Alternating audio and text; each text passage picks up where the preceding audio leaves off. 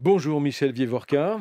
Bonjour. Faut-il rappeler que vous êtes l'un des sociologues français les plus au fait de la question du racisme et des études postcoloniales? Vous êtes directeur euh, d'études à l'école des hautes études de sciences sociales et, et voilà que vous apportez votre contribution à propos d'un d'un supposé islamo-gauchisme dans les universités, tel que l'a laissé entendre la ministre de l'Enseignement supérieur, Frédéric Vidal, en février dernier. Elle a d'ailleurs commandé un état des lieux au CNRS pour euh, savoir ce qui se fait comme recherche en France sur le sujet, ce qui a suscité euh, évidemment euh, polémique et, pétition. Et voilà donc, vous vous êtes auto-saisi de cette question à travers ce livre intitulé Racisme, antisémitisme et antiracisme, apologie pour la recherche. C'est un rapport paru aux éditions La boîte à Pandore.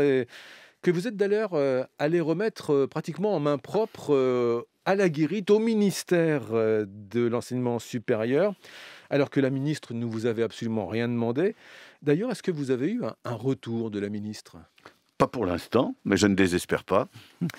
Alors, euh, il faudrait peut-être d'abord définir euh, ce concept d'islamo-gauchisme tel que s'en inquiète la, la, ministre. Sur quoi reposerait ce, ce supposé vecteur d'influence dans l'enseignement supérieur en France? Ça repose sur quoi?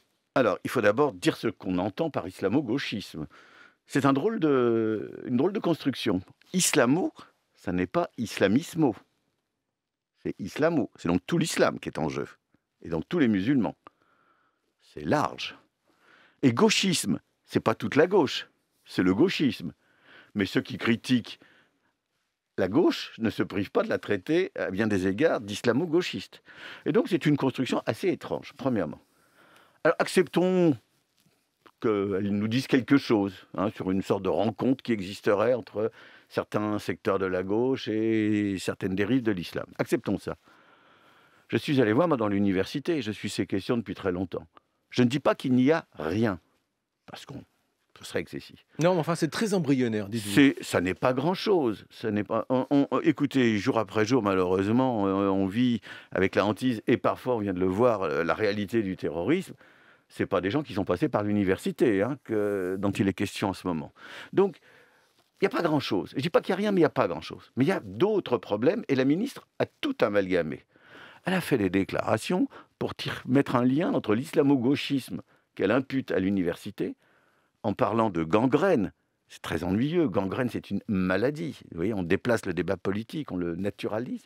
Donc, elle parle de gangrène et elle tire un lien euh, bizarre entre cet événement-là, entre ce phénomène-là et l'invasion du Capitole le 6 janvier 2021 euh, euh, au moment euh, de, l'arrivée au pouvoir de Biden. Tout ça n'est pas très sérieux. Donc, il y a de l'amalgame, et les mêmes qui dénoncent l'islamo-gauchisme l'installent en quelque sorte dans une sorte de nébuleuse où il y aurait aussi les études postcoloniales, les études décoloniales. Euh, les républicanistes, les décolonialistes, on va en parler dans un instant. donc tout, tout, est mélangé. Mais Michel Vivorca, ce livre, vous le précisez bien, euh, ce ne sont pas des recommandations, c'est une matière à réflexion.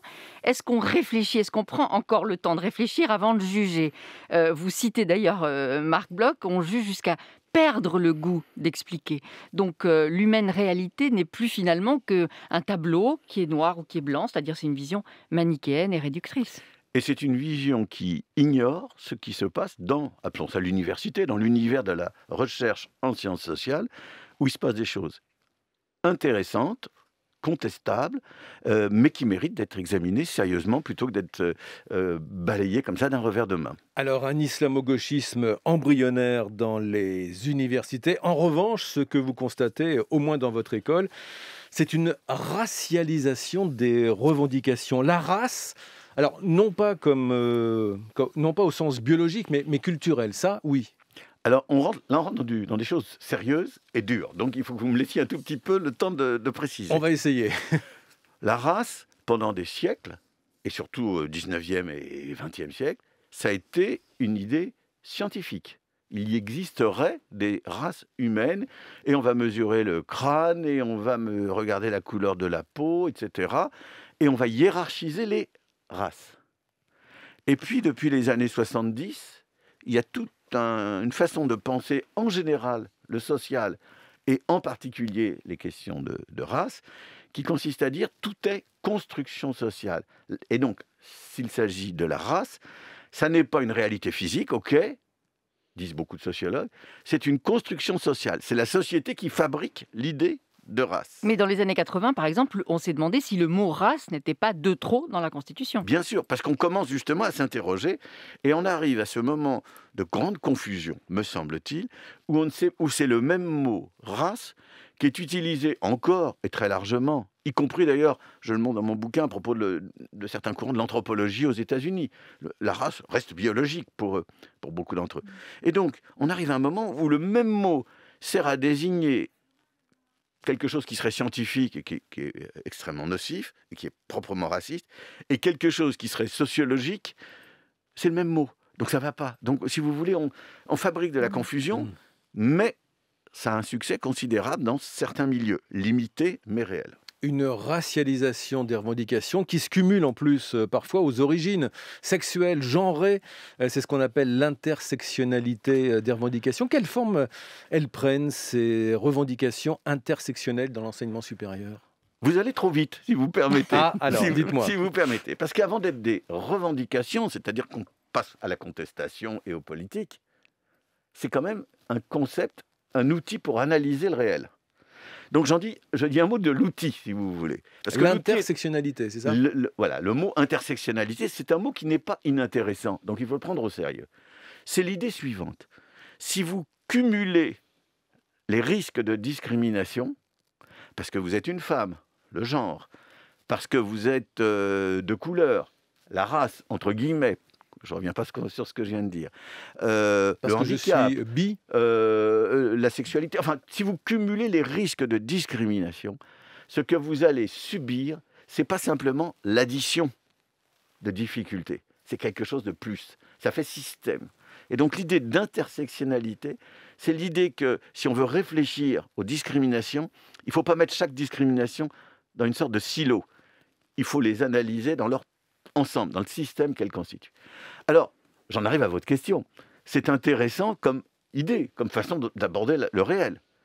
Mais de là en faire un combat politique, alors vous, là... Vous dites que c'est consternant. Ah, on entend des choses assez consternantes. Euh, mais ce n'est pas les chercheurs qui sont au cœur de ce combat politique. Il y en a, bien sûr. Les chercheurs aiment bien s'engager.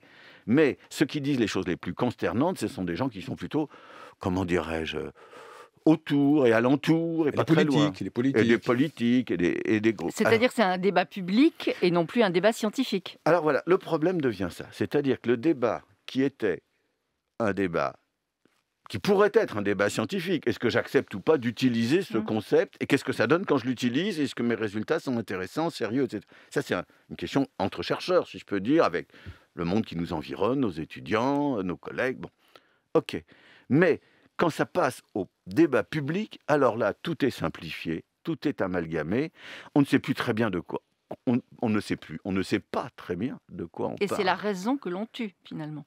Et donc, voilà, et l'on met à mal la raison, le souci d'être sérieux, de clarté, et le souci de comprendre ce que disent les autres, le souci de débattre, le souci d'échanger.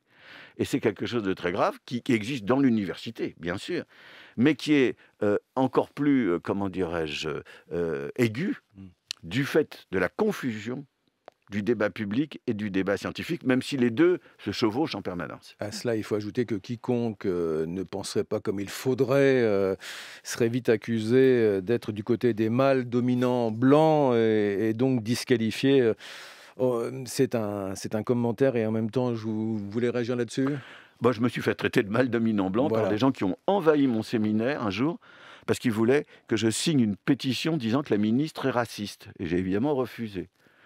Et la personne qui était la plus active dans cette vingtaine de, personnes qui envahissaient mon séminaire, c'était une jeune femme bien blanche et suisse. Donc euh, tout ça était un peu cocasse. Alors vous écrivez que dans les établissements d'enseignement supérieur, le débat est confisqué entre les républicanistes et les post-coloniaux. Vous pointez à la fois l'influence du printemps républicain et de l'observatoire du, décolonialisme. Alors il faut peut-être rappeler ce que sont ces, deux mouvements. D'abord, le, printemps républicain euh, fondé en 2016 le mot d'ordre, c'est euh, la laïcité contre l'islam politique. Ça, c'est le, le, le, leur credo. Alors, euh, euh, je ne voudrais pas être réducteur moi-même. Hein, donc, euh, mais malheureusement, on sera un peu obligé en quelques minutes. oui. Non, mais vous n'êtes pas réducteur dans votre livre, ah. je vous rassure. Merci beaucoup. Mais en tout cas, en gros, il existe en France un certain nombre d'intellectuels, de responsables politiques, de journalistes, enfin tout, tout un ensemble de, de personnes, souvent très respectables, qui considèrent que euh, la République est une et indivisible, je dis au passage que le mot une n'est pas dans la Constitution, et qui font un combat, euh, euh, comment dirais-je, que j'appelle parfois républicaniste, le mot est polémique bien sûr, mais un combat pour dire tout ce qui est affirmation d'une identité dans l'espace public est très dangereux. Bon, et évidemment, c'est un combat qui vise avant tout l'islam. Donc on est républicain ou on est démocrate, c'est un peu ce que disait Régis Debray? Alors ça, ça relance, mais Régis Debray, ça fait de l'allure.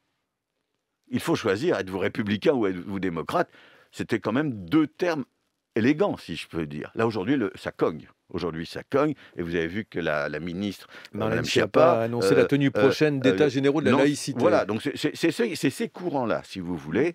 Et donc, ce sont des courants qui mettent en avant une idée républicaine, j'ai envie de vous dire, pure et dur qui euh, ne s'accommode d'aucune réalité euh, dans laquelle il y aurait des, regroupements, des, associations, etc., qui penseraient autrement. Alors ça, c'est pour le, printemps républicain. Un mot, et pardon de vous presser, vous allez me dire que je suis encore euh, que je vais trop la règle du jeu.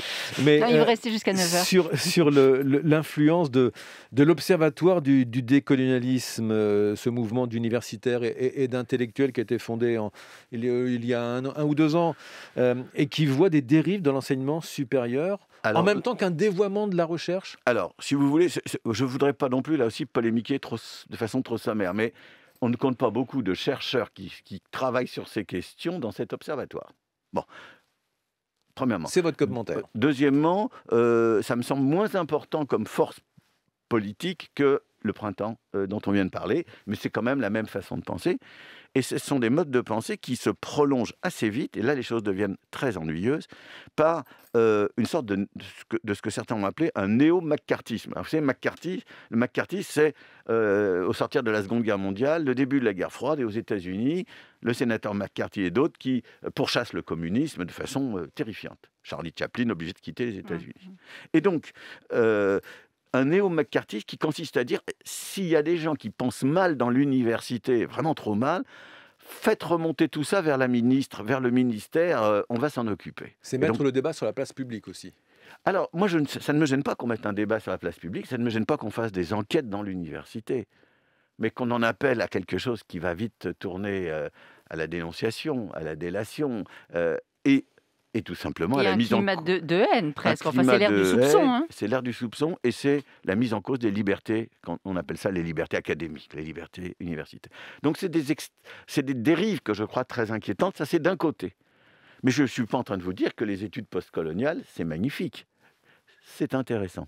Alors, vous m'avez posé la question. Il faut distinguer décolonial et postcolonial. C'est pas exactement la même chose. En gros, on veut décoloniser les esprits, lit-on souvent. Alors c'est encore, ça c'est des façons... autre chose. Oui, moi je vous parle de la recherche, mais alors décoloniser les esprits, euh, on, pourrait peut-être dire au contraire les coloniser davantage, c'est-à-dire euh, montrer que ce que nous pensons aujourd'hui a quelque chose à voir avec une histoire. Nous, ne sommes pas dans un pays qui, euh, qui a été en dehors de l'histoire. Il y a eu un empire, il y a eu de la colonisation, il y a eu des guerres de décolonisation, il y a de l'immigration qui vient de pays très directement concernés. Tout ça pèse dans notre existence. Alors, ce que les études, alors je, parle maintenant surtout des études postcoloniales, ont d'intéressant, c'est qu'elles demandent à ce qu'on étudie ce genre de choses. Très important. Moi, je suis pour.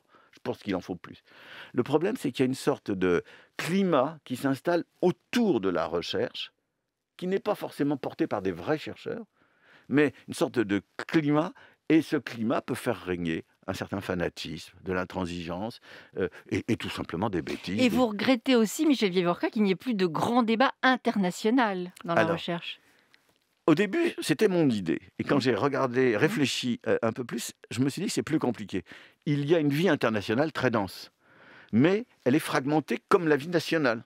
C'est-à-dire, si vous êtes dans des réseaux qui s'intéressent aux études postcoloniales, vous serez en relation avec des gens qui parlent de Global South, vous serez en relation avec euh, tout un univers très riche, très dense. Moi, Mais chacun dans sa propre chapelle, même au niveau international. Exactement. Et puis, vous en aurez d'autres qui sont très différents. Moi, j'étais consterné parce que j'étais invité à, un grand, grand congrès, euh, l'association latino-américaine de sciences sociales, c'est un truc énorme, qui est complètement dominé par ces courants. Je me suis aperçu que j'étais totalement marginal par rapport à, des milliers, à des milliers de participants qui étaient de, l'autre côté. Donc ça existe, il faut. Et, ça ne dit pas que des, choses inutiles. Donc il faut en prendre acte, mais il faut éviter, si vous voulez, des simplifications qui sont telles qu'il n'y aurait plus que d'un côté des gens qui, dérapent complètement parce qu'ils sont euh, dans un universalisme euh, trop abstrait, et d'un autre côté des gens qui déraperaient complètement parce qu'ils deviendraient complètement relativistes euh, euh, et qui transformeraient même parfois leur antiracisme en racisme. Alors pardon, ce que je vais revenir au printemps républicain, on parlait de Marlène Schiappa qui a été au moins un temps assez proche de, ce mouvement. Elle a annoncé la tenue prochaine, prochaine euh, d'états généraux de la laïcité avec des personnalités, des syndicalistes, des associations. Et l'Élysée surveillerait ça de très près. Que craint l'Élysée avec de tels rassemblements autour de la laïcité organisés par Marlène Schiappa? Non pas organisé, mais en tout cas avec le, l'aval, le tampon de, Marlène Schiappa. Alors, je ne suis pas dans les couloirs de l'Élysée, malheureusement. à un moment donné, on vous a reproché d'ailleurs de faire partie du grand débat qui avait été organisé ah, par l'Élysée bah, en, 2019. Euh, je ne le non, non, mais ça vous a été reproché aussi. Vous n'êtes pas dans le secret politique, mais vous êtes tout de même bien informé. Que redoute l'Élysée sur Alors, cette ligne je, je, ne sais pas exactement ce qu'il redoute, mais évidemment, c'est, euh, comment dirais-je, faire de l'agitation, faire de l'agitation sur un thème qui est avant tout un thème de droite dure et d'extrême droite. National, Rassemblement National. Et donc, peut-être que ce que craint l'Élysée, c'est de, comment dirais-je, c'est de trop jouer, si je puis dire, le jeu de sa droite-droite, premièrement, et, donc de se couper d'une partie de sa gauche, parce qu'il y a quand même euh, des gens de gauche qui ont rejoint euh, le président. Et donc, je pense qu'il y a de ça. Et puis, que ce soit un fiasco. Par exemple, Mme Chiappa annonce les syndicats en sont, et aussitôt, la CFDT fait un communiqué pour dire pas du tout. Pas du tout. Et puis, euh, je trouve qu'il y a quelque chose dans cette affaire qui était quand même très inquiétant. C'est que si vous retirez le thème de l'islam, je ne dis pas l'islamisme, je dis l'islam. Si vous retirez l'islam, de... il n'y a plus de débat. Enfin, je veux dire, la question est inintéressante. Et donc, tout ça, ce sont des opérations sur le dos. Où on focalise sur, ou en tout cas focaliser sur, euh, sur l'islam. Alors, je pense, je pense que les, beaucoup d'intellectuels refuseront de participer à ce genre d'initiative. Euh, Jean Bobéro vient de publier, qui est quand même, à mon sens, un des meilleurs spécialistes de la question, peut-être même le meilleur en France, euh, vient de publier, euh, je crois que c'était dans les colonnes de l'Obs, un texte extrêmement dur pour la ministre, qu'il avait vu, et, et, on lui a fait dire des choses qu'il n'avait pas dites. c'est peut-être aussi, comment dirais-je, la crainte de l'Élysée, c'est peut-être aussi que ça casse un peu l'unité de ceux que le président voudrait rassembler. Alors, on va revenir à ce débat sur la racialisation des, revendications. Et si l'antiracisme des uns devient le racisme des, autres, écrivez-vous, alors où sont les bons et les mauvais antiracistes? Avez-vous trouvé un élément de réponse au moins, Michel Vivorca? Alors, j'essaie d'y voir clair. Et j'essaie d'être le plus ouvert possible, le plus tolérant, le plus nuancé possible. Donc, quand des gens, je vais prendre quelque chose qui a fait beaucoup débat ces derniers temps quand des gens se réunissent entre discriminés pour la même raison, pour discuter. Des réunions non mixtes. Des réunions dites non mixtes. Si ces gens disent on se réunit entre personnes qui subissent une discrimination de type racial, par exemple, mais on n'est absolument pas en guerre contre, contre d'autres. Et on ne dit pas qu'il y a des races. Non, on dit simplement je suis discriminé et je vais en parler entre nous. Je trouve ça très bien. Je trouve ça très bien, de la même façon que je trouve très bien que des alcooliques euh, se réunissent euh, entre eux pour essayer d'en sortir. Et à l'époque, dans les années 70, les femmes du MLF. Mais bien entendu, il y a eu des manifs interdites aux hommes, mais, j'ai de, très nombreux amis, IES, qui y participaient, et, après on en discutait. Mais je sens un mais derrière cette information. Mais si les gens disent, je me réunis parce que j'appartiens à telle race, et je suis en conflit avec les autres races, à commencer par la race blanche, alors là je dis, ça ne va pas du tout. Autrement dit, il faut essayer de voir où est le curseur. Où est le curseur Et pour moi, le curseur, il est quand on rompt avec l'idée de débat, quand on rompt avec les valeurs universelles, quand on rompt euh, avec l'idée qu'il s'agit non pas d'affirmer l'existence de ma race contre une autre supposée race, euh, quand on est, quand on est là-dedans, là, là c'est très dangereux. Michel Vivorca, il nous reste quelques secondes. Il n'y a dans ce rapport aucune recommandation, contrairement à ce qu'on pourrait attendre dans ce genre d'exercice. Aucune recommandation à la ministre de l'Enseignement supérieur. Pourquoi? Bon, parce que je pense que le gouvernement auquel elle appartient ne s'intéresserait pas au genre de recommandations que je pourrais faire. Par contre, j'espère que dans le débat public, politique plus large, le genre d'idée qu'il y a dans ce livre pourra avoir un certain, un certain écho. Et le rapport commandé par la ministre au CNRS, il est déjà mort et enterré, mort-né? Alors, moi, j'aimerais savoir, la, ministre demande au directeur du CNRS un rapport, il lui répond qu'en gros, il n'obéira pas. J'aimerais savoir ce qui se passe en Conseil des ministres si on évoque une telle affaire. Merci Michel Vieviorca. Je rappelle le titre de votre livre Racisme, antisémitisme, antiracisme, apologie pour la recherche. Donc rapport à Madame Frédérique Vidal, ministre de l'Enseignement supérieur, de la Recherche et de l'Innovation. Vous viendrez nous dire éventuellement ce qu'elle en a pensé si elle fait un commentaire. Merci. Et ça paraît, je le précise, à la boîte à Pandore. Merci d'être passé euh, en parler ce matin sur France Inter. Merci.